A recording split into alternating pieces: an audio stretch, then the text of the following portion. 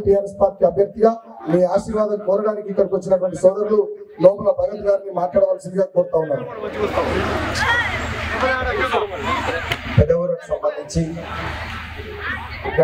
By election సందర్భంగా ఇచ్చేసి వేదిక వేదికను అలంకరించిన భద్రత మహారాజు మహారాజులందరికీ అలాగే వేదిక ముందున్నటువంటి పెదవురు అక్క చెల్లెలకు అన్న తమ్ముళ్ళకు పెద్దలందరికీ పేరు పేరున నా హృదయపూర్వక పాదాభివందనాలు తెలియజేసుకుంటున్నాను ముందుగా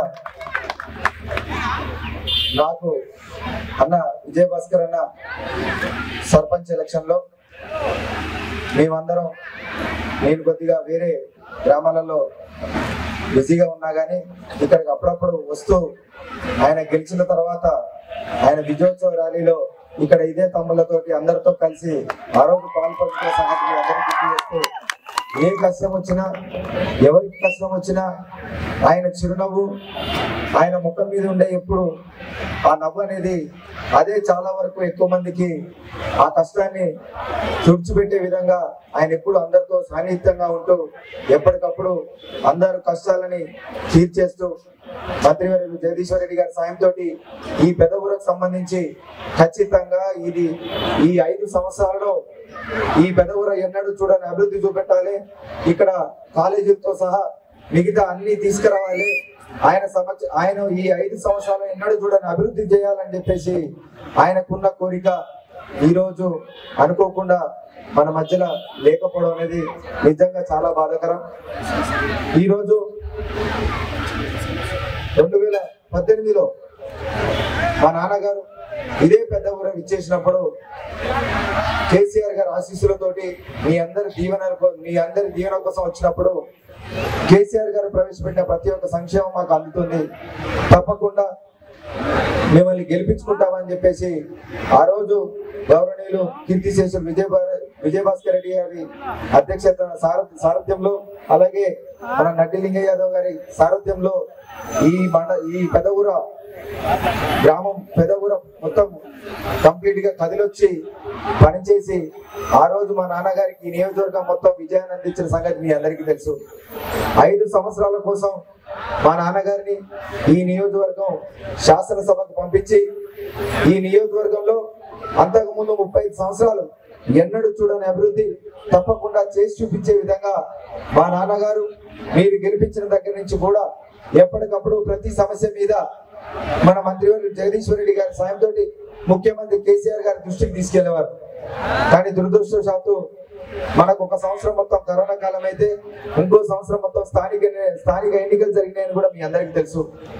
కానీ ఈ స్థానిక ఎన్నికలు కావచ్చు కరోనా సంక్షోభంలో కూడా ఈ నాగార్జున సాగర్ నియోజకవర్గం కాకుండా తెలంగాణ మొత్తం కేసీఆర్ గారు ప్రవేశపెట్టిన ప్రతి ఒక్క సంక్షేమ పథకాన్ని ప్రతి ఒక్కరికి అందేలా చూసిన ఘనత వద్ద ఏంటంటే అది ఖచ్చితంగా గౌరవనీయులు ముఖ్యమంత్రి కేసీఆర్ గారిదనే మీ అందరికీ తెలియజేస్తున్నా.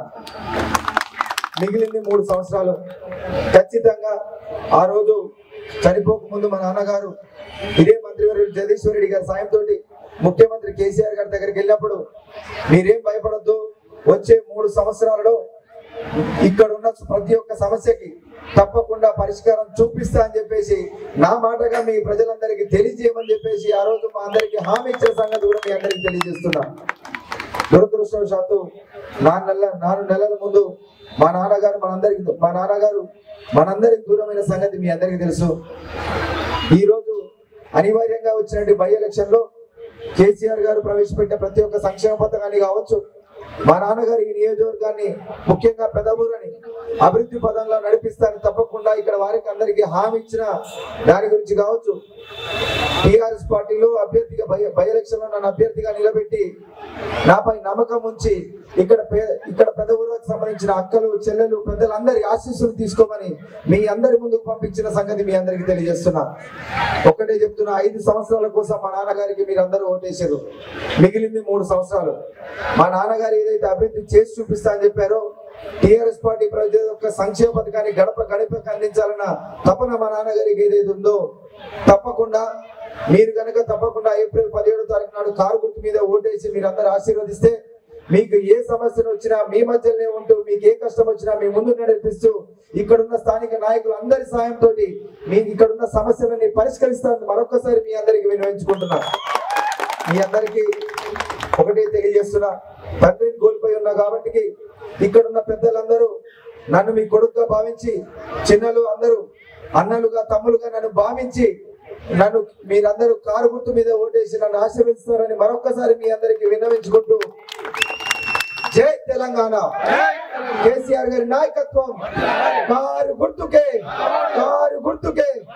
నమ్మకమైన మీ ఆర్థిక నేస్తం భవిత శ్రీ చిట్ ఫండ్స్. భవితశ్రీ చిట్స్తో శ్రీకారం బంగారు భవిష్యత్కు సాకారం.